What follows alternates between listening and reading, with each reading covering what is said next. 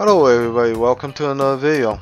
On this week OBS tutorial, I'm going to be showing you how to um, to show a web page uh, on your live stream or uh, in your video recordings.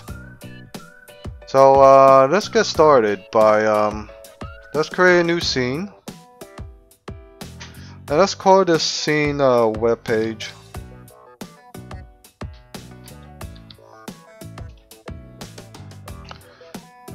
Now the source we're going to add is uh, called browser source. So just select that.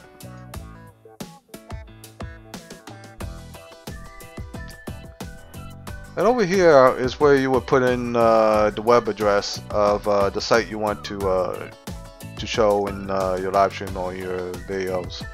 Uh, right here is default to OBS projects, but um, you're gonna change it to something else. Um, let's just say um, change it to YouTube.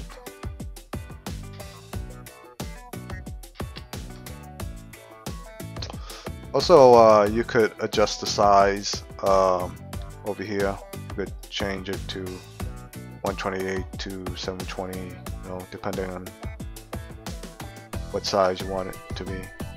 You also could uh, customize the the, the look of the web page here but uh, that will I will show you that in a later video when uh, we will talk about how to uh, incorporate chats uh, into um, into your scenes.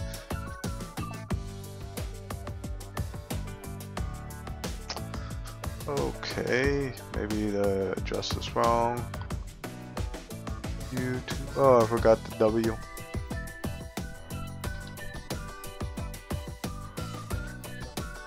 There we go. Let's uh, have it go fit to screen. And we could also add other things, uh, not just showing the web page, but uh, you may want to add um, some music.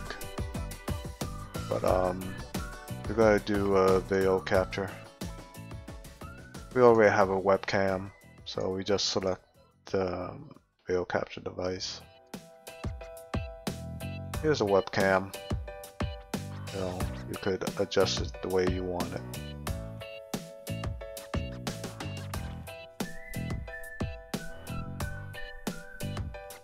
Alright, um, sometimes um, you want to also display uh, the web address or you want to display the whole full browser. Uh, you know, maybe um, you have a sponsor and you want to show off their website. So let's uh, make another scene and let's call this uh, full browser.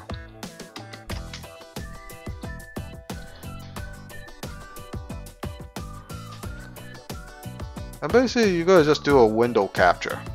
So, but first, let's uh, have the browser open first. So, so you would hit window capture. And you would uh, select Firefox.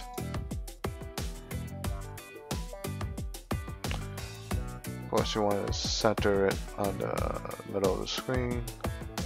Or you can stretch it out. Let's see what stretch out. Ooh, stretch it out. Doesn't look that good. Yeah, do it fit the screen. And of course, you you know you could add other things. You know, webcam, uh, chat window, uh, music playing in the background, etc.